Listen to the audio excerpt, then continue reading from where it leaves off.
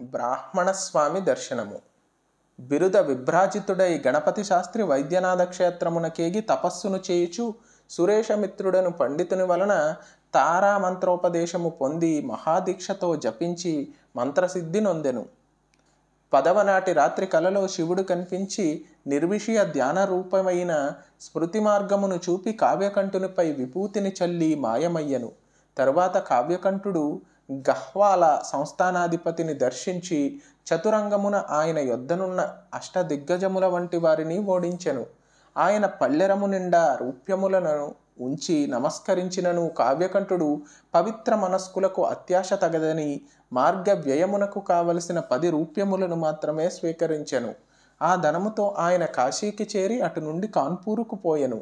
అక్కడ మూడు మాసముల స్మృతి మార్గమును అవలంబించి ఆయన జపధ్యానములు సలిపెను. అప్పుడు ఇంటికి రమ్మని తండ్రి రాయగా కావ్యకంఠుడు వెంటనే కలువరాయికి చేరను.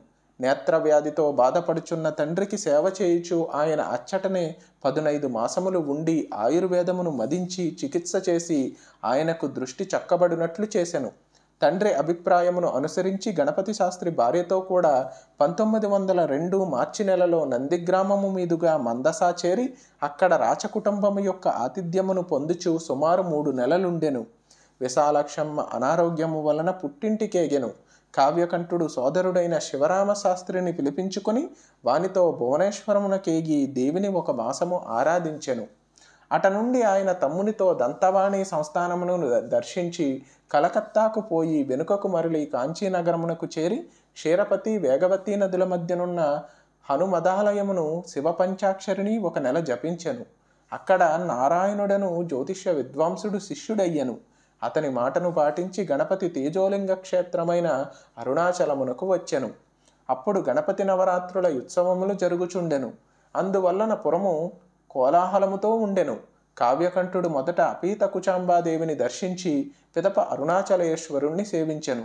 అప్పుడు ఆయనకు భక్తి యొక్క ఉద్రేకమున అపూర్వమైన అనుభవం కలిగి శక్తి ఈశ్వరుడు ఇచ్చటనే నాకు పూర్ణానుగ్రహ స్వరూపులై కనిపించుచున్నారు.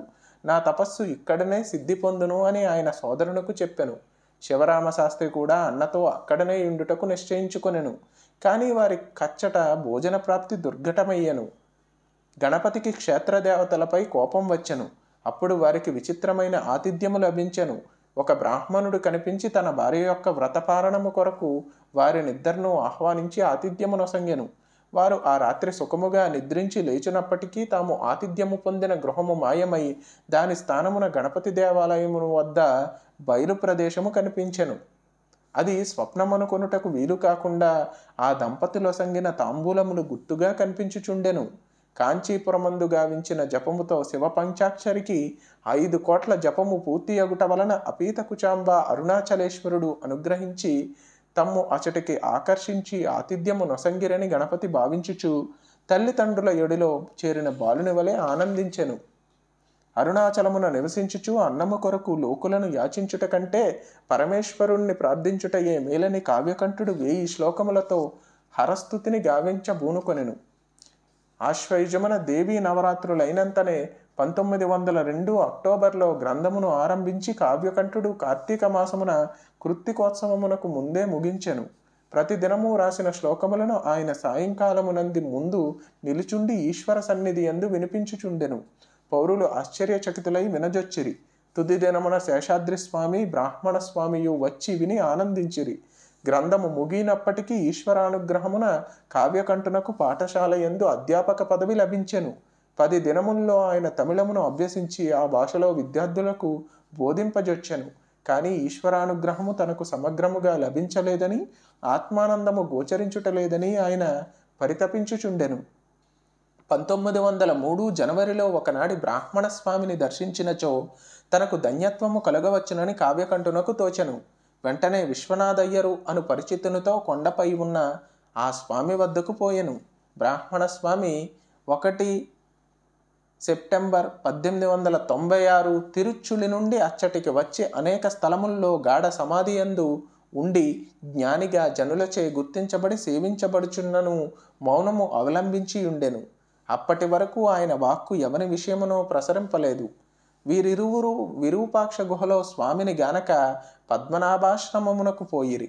అచ్చటనొక రాతిపై బ్రాహ్మణ స్వామి కూర్చుండి ఉండెను ఆయన్ను చూడగానే కావ్యకంఠుడు దుర్గా మందిర యోగి చెప్పిన స్థూల శిరస్సు ఇతడే అని గుర్తించి ఆయన ఎందున్న యోజస్సునకు ఆశ్చర్యపడి చేతులు జోడించి నమస్కరించెను.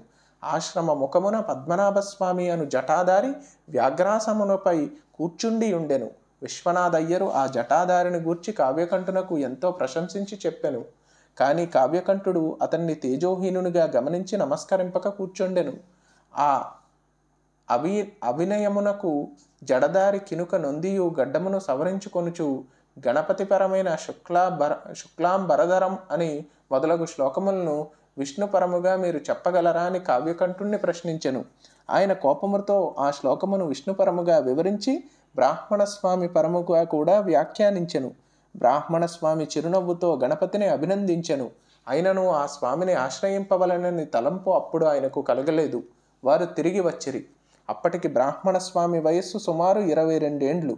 ఆయనకు కాషాయంబు దండ కమండలాలు లేవు.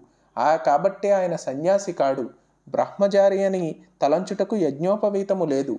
తత్వజ్ఞుడు అనాచారముతో ఉండున? లోకహితమునకు అవతరించిన స్థూల శిరస్సు అయినచో దుర్గా మందిర తన్ను పలకరింపడా? అని పెక్కు సందేహములతో కావ్యకంఠుడు ఆ స్వామి విషయమున అప్పుడు శ్రద్ధ వహింపలేదు. ఆయన తిరిగి వచ్చి హరస్తుతి వలన హరుని దర్శనము కాని సంపూర్ణమైన అనుగ్రహము కాని కలుగలేదని నిర్వేదముతో ఆ గ్రంథము చింపివేశాను కల్పట్ రామస్వామి అను శిష్యుడు దీనికి ఒక ప్రతిని రాసుకొని ఉండెను. కానీ ఆయన ఆకస్మికముగా మరణించెను. ఆ ప్రతి దొరకలేదు.